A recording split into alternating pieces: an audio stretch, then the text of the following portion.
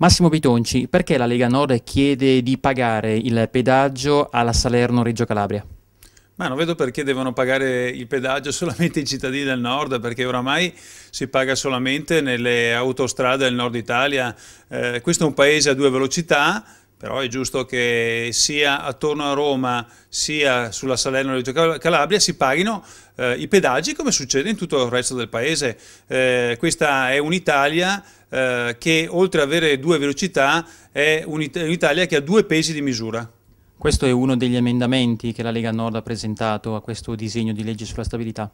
Questo è uno dei tanti emendamenti, eh, insieme a quelli di carattere fiscale, insieme a quelli per i comuni sul patto di stabilità, eh, insieme a quelli sul taglio delle tasse per le nostre imprese, le nostre famiglie, uno dei tanti emendamenti che tende a fare giustizia sociale e anche questo con Uh, le tariffe e i pedaggi da pagare sulle autostrade del sud è uno di quelli uh, tentativi mediante il Parlamento e quindi il sistema parlamentare di fare giustizia.